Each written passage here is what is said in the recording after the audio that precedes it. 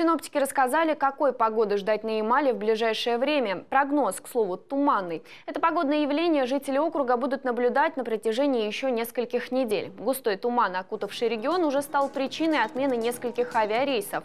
Из-за него же на время приостановили работу паромной переправы.